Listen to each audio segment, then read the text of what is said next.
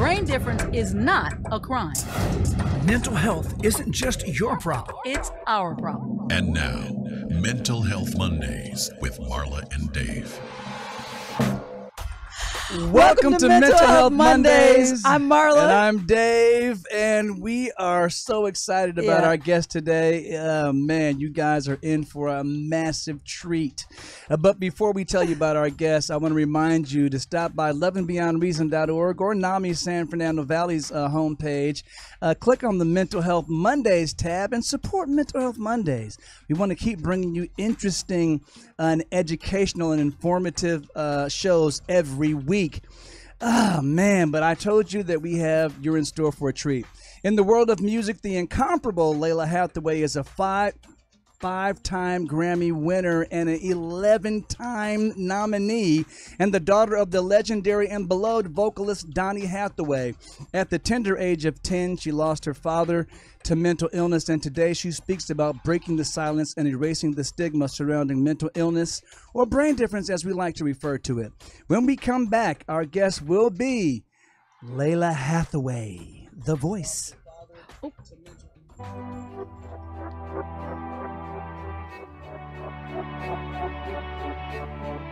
Help someone who is struggling by supporting the National Alliance on Mental Illness and be a part of the NAMI effect.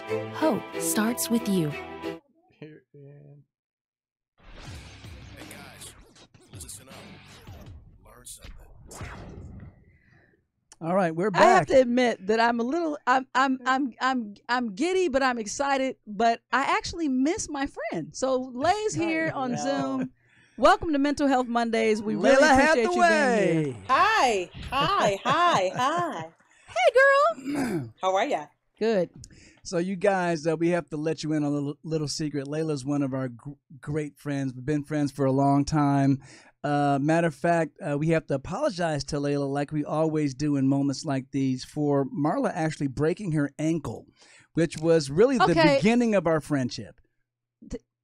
I'm I I'm gonna have to go to therapy because I've this,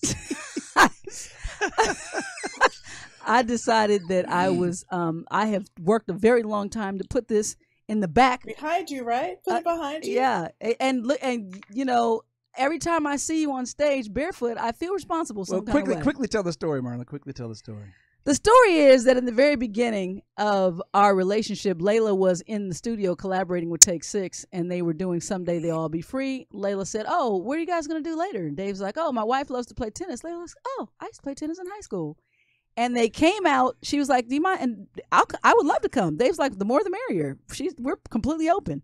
She comes out, first ball hit, up in the air. Lalah goes down. She comes and takes a slow, crumbling fall It was the slowest fall down ever. in the history of man. It literally felt like she was suspended. And Dave, then she's and on she the wasn't ground. even panicking. She was like, "Ow, ooh, ah." Oh, I- my, Yeah. oh, And my. then she I just said, went nice and calm. So It's we were like, "Oh, don't worry about it. It's not that And bad. she's It'll- like, no. You'll be okay." But this is Lalah. She said, no, I, I think my ankle's broken. And Dave was like, your ankle can't be broken Can't be because broken. if it You- was, you'd, be, sweating. You'd be a cold sweat. and then well, also, at least, you'd be nauseous. at least then- you at least you don't feel nauseous. but anyway, it was it was it was it was obviously sorry, Lalah. You had to be at you know at the at the end It's of okay. pain, but it was God's design to for us to. From that point on, you were staying in our house for like two or three pretty days. much kidnapped her and, for the we week. it was a it was a friendship made in heaven and our Yes. family lalah has been with us through pretty much everything i think when we met lalah lexi may have been six and now yes, she's I, used- 28 I was sleeping on on Lexi's trundle. Remember?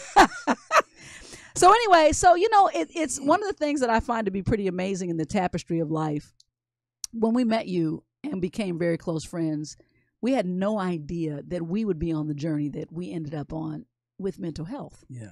but Mm. in our friendship we've always had open conversations Absolutely. And one of the things that um, you know we talked about was the unfortunate uh, incident of what happened with your father, and um, I, I think I want to start by just kind of talking about that just a little bit, and from the from the position from two different angles. One, the stigma and the silence that we almost seem honor bound to keep, um, more so in our community as African Americans um, and then the the the whole world kind of watching, Mhm. and then you being a child the celebrity factor. before you even could plug into what it really meant about what his diagnosis was and what he went through and his struggle Yeah.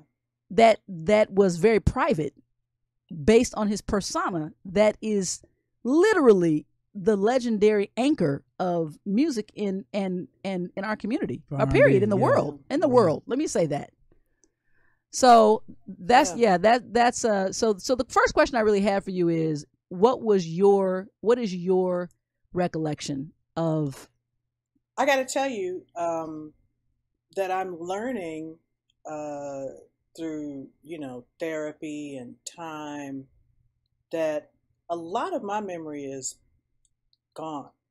I have very little memory of that time, and a lot of that is trauma based. A lot of that Mhm. Happened to protect me from whatever is going on at that moment. Um, what's interesting is I really appreciate that we call it, we think of it as a brain difference. It's just a difference in the chemical or the or how the synapses fire because Mhm.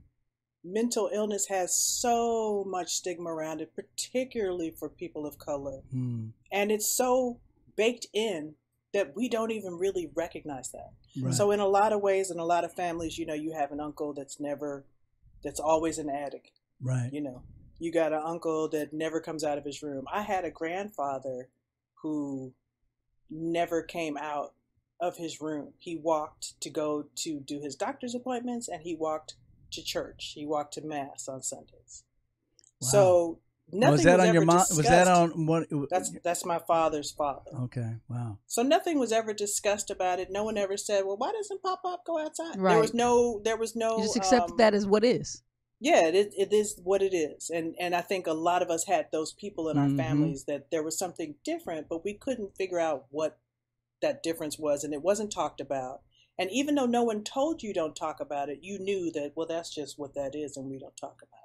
Yeah, I have Um, I have family members as well who literally I've known them all my life. I didn't realize that the relationship that I was told that they had to the family was completely different than the reality of it.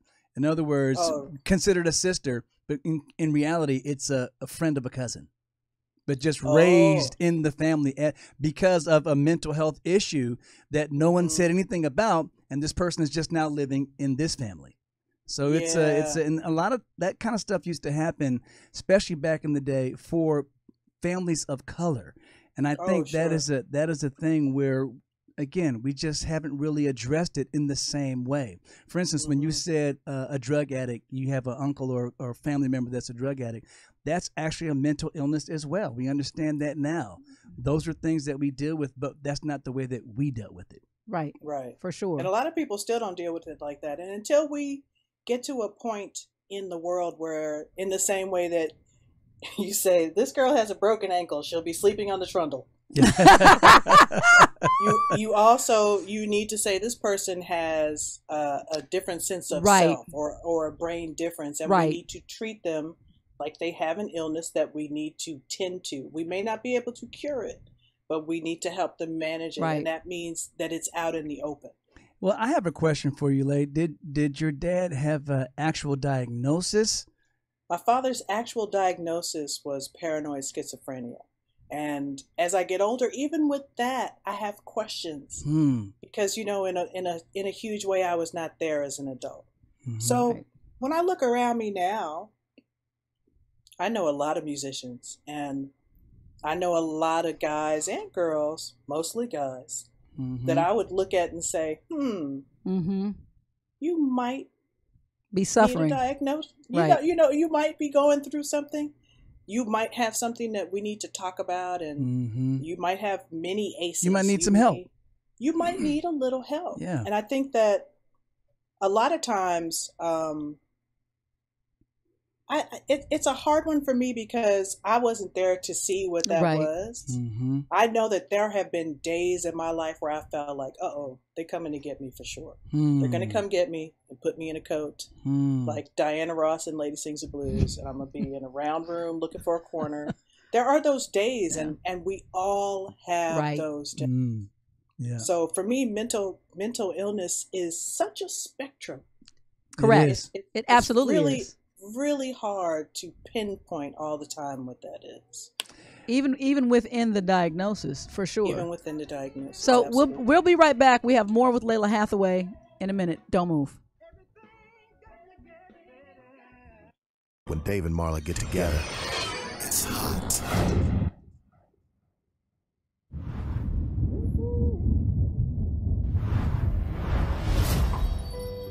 You may not realize it, but these words, often used to describe someone with a mental health condition, can be very harmful. In a country where one in five people are affected by a mental health condition, it's time for all of us to step up and change the conversation. Just because someone's struggle isn't obvious on the outside doesn't mean they aren't hurting on the inside. We need to see the person, not the condition. Join with me, pledge to be stigma free.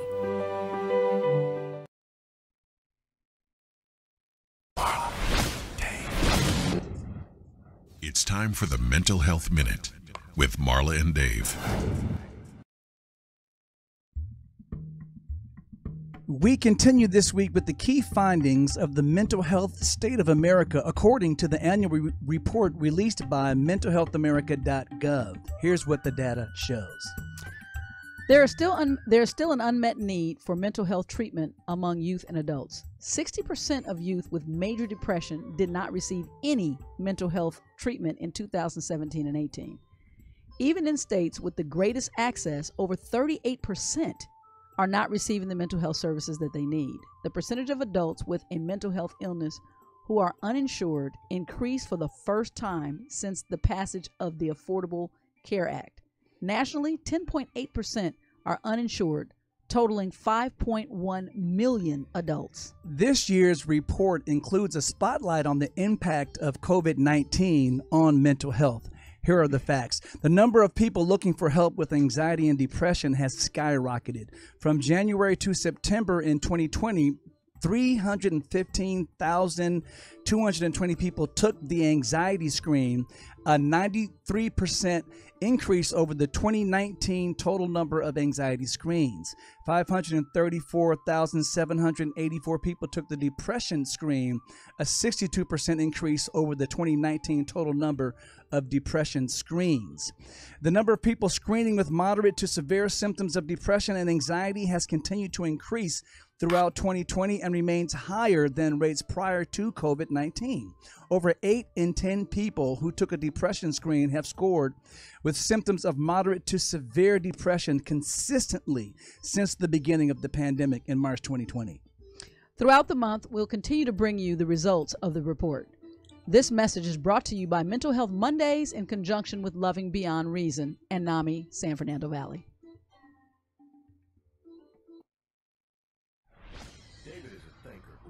Never do anything without thinking about it first.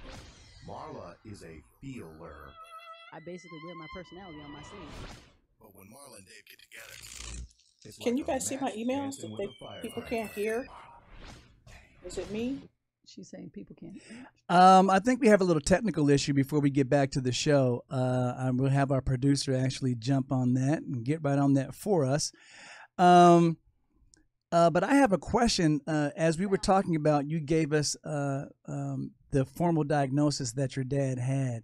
Um, and I know a lot of times when I was growing up, if my dad was going through some issues, he was a little too angry to kind of, he was dealing with paying bills, so that would kind of get on his nerves from time to time. Uh, my mom would kind of hide the impact of that from us. And so, you know, he'd be in the back and she'd come out every now and then, everything's fine, but you hear stuff stuff going on in the back that you see makes you think, well, it's not that it's not fine, but okay.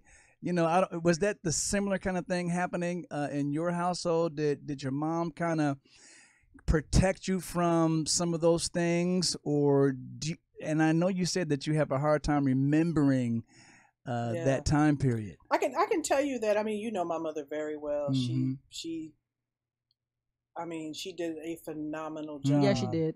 She's a phenomenal making- person. mm, Yeah, of making everything as normal, you know, as Mhm. possible. hmm Um, we were raised with our family. We had Christmas and homecomings and uh, summer vacations and spring breaks. You know, within within a household that has trauma, which is just about every single household, Exactly. there's there's there's a fair amount of it that rubs off on the children. You know what I Mhm. mean? And you have to you there has to be some trauma to deal with some trauma. Yeah. So um, I can say that I really feel like my mom did what she knew how to do. She made it Mm. really normal for us, as normal as she Mhm. could.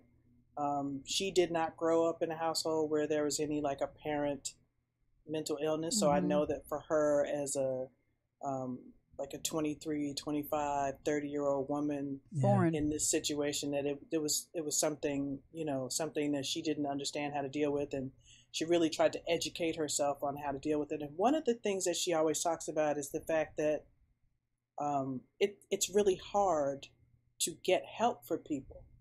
Mm. And And I can um, imagine even in back then it had to be much harder. Impossible. Yeah, almost. Yeah. Yeah, that's that's one of the things that she talks about a lot, and I know Marla, you and Ma have had a lot of conversations about that. Like, how do you you if they make it so hard for you to get help for people? Right.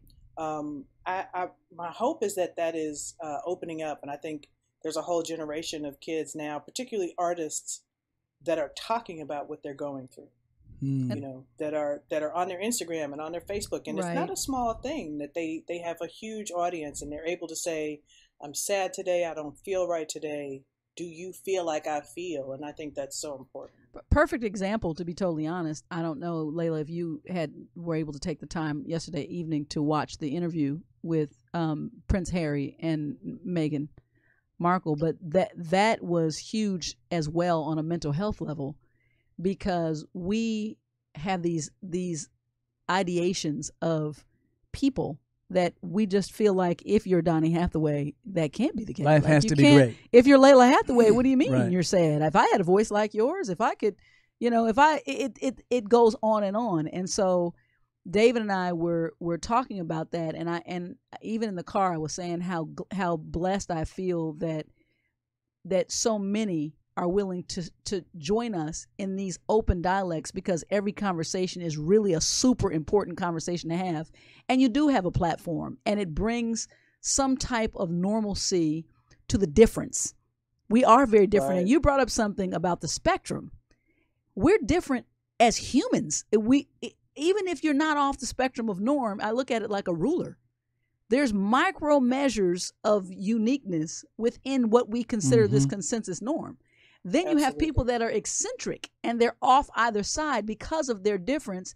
And those are just the people that I realize don't we can't identify or relate to inside the social social norm or the productive norm. Um, and so I, I one of the things that I'm going to ask you do you do you subscribe to or even believe that you know your dad was also a musical genius Mm-hmm. Oh yeah, and and and and that part of a brain that fires in that way you know it's Yeah. almost like the yin and the yang do you see it as as just the the the other side of a gift that's extraordinary particularly with people that are uh, strongly gifted. You find a lot of more left brain people in that way, which is why sometimes I question those diagnoses. And I'm not a doctor, I don't have my degree, Mm-hmm. but I, again, associate with a lot of really smart, mm-hmm. really talented, uh, kind of deep people, and they Mhm. seem mostly crazy. uh, and I say that it's kind of a joke, but there's there are these eccentricities that look like what we were brought up to believe. Like, oh well, that's crazy. right Right. It's just out of the Well, why would you do spectrum of norm of norm. the really. consen- wait, wait, you're Yeah. not you're you're not anything we recognize in our consensus norm Right. And so, what does that mean? Does that mean that, you know, my grandfather, who was in his room all the time watching television and who walked to Mass and who walked to do his exercise, what was his diagnosis? And how did they even figure it out? Mm-hmm. You know what I mean? I do know what you mean. Well, I mean, we first of all we appreciate you taking the time to talk to us, especially about difficult subjects like this. We're going to take a break. When we come back, more with Lalah Hathaway.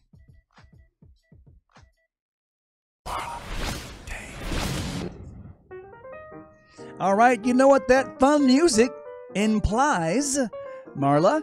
i have to do this now Because this is my my shoulders messed up. that's that's Marla's new dance. Uh, it's time for the poll question. Uh, last week we asked you what is the most difficult mental illness to treat, Uh, and your options were A. Depression, B. ADHD, or C. BPD. Uh, for those who are not familiar with those acronyms, that th- th- The what that stands for, the acronym is uh, Attention Deficit Hyperactivity Disorder is ADHD, Borderline Personality Disorder is Is BPD. BPD. Uh, and What- according to What do you think, Lay? I, I think BPD by far. Yes, uh, and I will. I'll give you a little, a little insight to that. Uh, Is that Leigh. right? That It is is absolutely correct.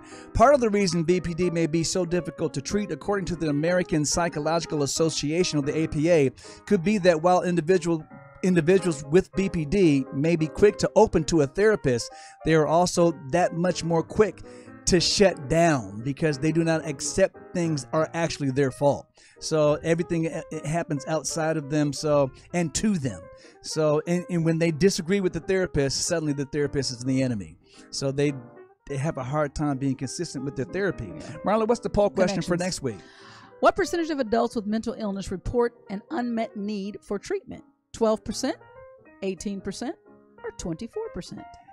Yes, and so we'll leave that one as a cliffhanger. Make sure you, wherever our social media is, uh, stop by and answer the poll question when you see it. We would love to hear from you, and this is a way to uh, get some information in a fun way. And let us hear your voice. By doing what? Vote. They have to turn up their volume. Right quick, for everybody who's trying to listen and they can't hear it, I would like to make a suggestion. Turn your volume up. That sounds simple, but uh, we have from our producer, uh, we turn- checked, turn- and turn uh, up. it's Turn- turn it it's you should be able to hear it. They're good. They're Turn good. up. Awesome, awesome. You know, So, you know what's really interesting about what you just said hmm. about diagnoses that are hard to treat, and it makes Mhm. me think about all the little children that have ever gotten spanked or punished for something that they couldn't even explain was happening, and that's Hmm. on the spectrum of everything: autism, BPD, Yep. uh, uh, deafness. There's so many Yeah. things. Yeah, as a matter that, of fact, um, I remember now that you say that, Lalah, because our, son actually has a diagnosis of uh, schizoaffective Schizoaffective disorder. and bipolar one, uh, and because of that, we didn't realize that till much later. And had we understood at that level, we could have seen things happening a lot earlier. There was a and time. the same, honestly, to be truthful, Monique, that's not Monique's diagnosis, but she also has um, mental health challenges and diagnoses on the table as well. And it was and it was a learning process for us. And what you said, we would punish for things that we considered aberrant behavior. And Right. had we known, a matter of fact, I apologized to Monique one time. I said, had I known, I would have never handled. I would have never way. let you out of the room.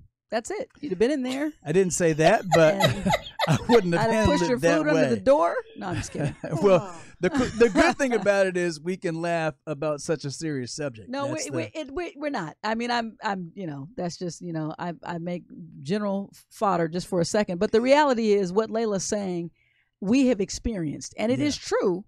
And it's only in retrospect when you look back and you're holding someone responsible for a behavior based on your trajectory and understanding and that's the thing that so so you almost have to for, forgive the parent and the parent's Mm. behavior So this is my thing. This is what I'm saying right now. People of color, Hmm. don't beat your kids. Don't do it. Just don't do it. Because there is a genetic trauma that we are all experiencing and that we will forever all experience. Don't beat your kids. Just try not to beat them. And you you know- might learn something. And you know what's That's true. interesting? I'm going to add on to what Lay is saying, and I think we talked about this with a, with a guest um, a few weeks ago. When you talk about the root of mental illness being trauma, every black person has post traumatic stress syndrome. Being born in this country, you've experienced trauma. I, I, I, Those that don't even know they have it. have it. Exactly. oh yeah, no, I could wow you, wow you with the stories of some of my spankings. Legendary. Um, uh, Same. yeah, I mean, when I say legendary, i if I were to say it out loud, people would look at my parents differently they would go back. Yeah. exactly. Don't tell. Don't tell. Don't tell. exactly. Um, but what I will say is, it's interesting that you kind of brought up the fact that a lot of creative people also seem to uh, allow part of their create creativity is to allow their mind to just go and explore places that most, of us have governors. most people would not go and explore. You don't have the uh, option because your brain doesn't open like that. Uh, because much like your father, our son DJ is A I hell of a say, without exception, one of the greatest R and B writers, songwriters that I've ever encountered. Wow. That I've ever awesome. encountered.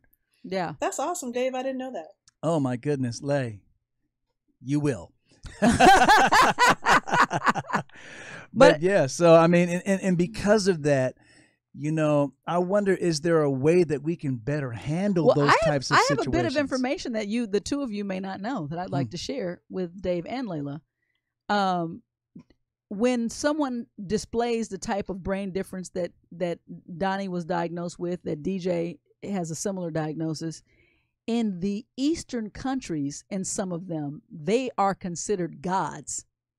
People people flock to them Or in the For- in the diaspora. for for for for literally for advice for healing they literally are considered very differently than we do in the in the western world and i and i i, I will say that in my journey what i have to be honest and confess is there's a selfish intent as well in the healing because i want you to to operate within these norms yeah for sure because and i want you me. I want you to be with me, and I can't Yeah. relate out there. So I, Yeah. you know, so it's it's literally a responsible way to try to break through, really to contain, so we can all function and and together. That's just a true confession. Well, here's a, here's Yeah. another question for you, Lay. Have you ever talked with your sister about some of these issues? Oh yeah, we definitely have uh, discussed it. It's interesting. Our, our our points of view are the same but different. You know, how you grow up in a Mhm. house with somebody and you see things Mhm. differently. I think that um, what's interesting is that my memory is so skewed because I have lost a lot of of that time in my life before like age 12 or 13 Mm-hmm. because of all of that um, trauma. My sister happens to be the historian in our family, so she remembers everything. Wow. Man, so and I would assume that because of that, the way those experiences impacted you is slightly different as well. Yeah, I think so. I think I'm the first child. I think um, you know what I mean. There's a lot to do with birth order and and what's happening at the house in the house at that time and Mhm. and what our interests are. It, it's a whole lot, and and I'm learning about it now, and it's fascinating. Fascinating. Well, we appreciate the fact that you're sharing with shared with us that you are dealing with this in a therapeutic scene- uh, Absolutely. uh, uh, uh, scene as well. So because in in our community as well, uh, uh, most of us have a negative view. The minute you say there, I'm not, you know, and and it's it's so necessary for for us all. Absolutely. Always. Absolutely. is. Lalah's one of the greatest singers. She said that she studies with a vocal coach. You know what I mean? She could be a, a vocal and probably has vocal coached others, but she still goes and seeks professional help to expand her own knowledge. And that's Absolutely. the thing it, that it we took all me a while to to get here. Hmm. took me a while to get here. I definitely, you know, I have a strong, strong tribe of strong, strong women. I have a lot of alpha chick friends that I go to when I need it, and I I'm able to bounce my ideas and learn about this and that and all of that. But really, to actually submit to, um, in the same way that when Marla broke when Marla broke my ankle. Okay, all right, hold right there, Lalah. We'll be right back. we'll be right back. More with Lalah in a minute. Don't trust them. They'll hurt you. You're worthless. It's pointless.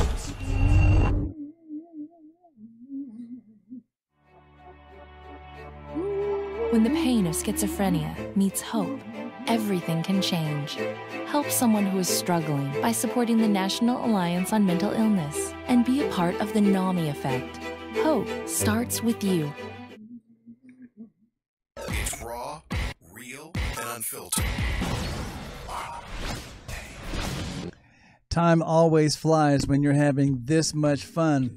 Uh, you know, Lalah, we appreciate you and the efforts that you have uh, helped us in breaking the silence and erasing the stigma that surrounds mental health uh, and being willing to talk openly about some r- really serious issues that you deal deal with and to uh, kind of normalize the need to seek help. I'm starting with my uh, new therapist next week, and You we are absolutely, awesome. absolutely, and I think Marla's trying to give us a hint that she is. I silenced myself, but I couldn't take it for long. She- so she- I have to open up my speak hole, so Oh, I could Lord. yeah, so I could you know. But so- Marla, tell us about the mask that you wear. Well, these masks are. This is masks for Mental Health, and I, Lalah's also been a recipient. And my mom custom makes each of these masks, but this one is special because it says "mask it or casket." So we encourage everybody to oh. continue to stay safe. Wear your Where can. I get those? Because I got those for almost all my friends for Christmas, and they love them. LovingBeyondReason.org. and hit the button that says "mask for" the number four mental health. It's right there on the bo- on the bar. Very Lalah, simple. you know, before we leave, give us one uh, nugget of, of of encouragement when it comes to uh, mental health and how it can be, how music can literally help us get through some of those tough moments. Um, be gentle with yourself. I'm super hard on myself, and um, I think a lot of people are hard on themselves. But Mm. I have time in the day where I listen to music, and it is a healer. It is again like that best friend in the room. When I Mm. die, on the day I die, I'll have to say goodbye to music, Mm. just like all the rest of my friends. So Mm. find that music that soothes you, and have a moment and just sit down and breathe, and be gentle with yourself. I love it. We appreciate it. We love you, um, and we Love you we too. appreciate you hanging around. We'll see you. Lalah's going to join us for two episodes, so, so we'll see you again see next you week. Next week. Bye. Bye, see you Lalah. guys later. See you next week. Lalah, your doll needs clothes, sweetie. This is this is not what this show is. You gotta, She likes to have no clothes on. I, I understand, Lalah. She's not ready for her cameo p- appearance, She is. Look at her hair. This has been Mental Health Monday. See you guys next week.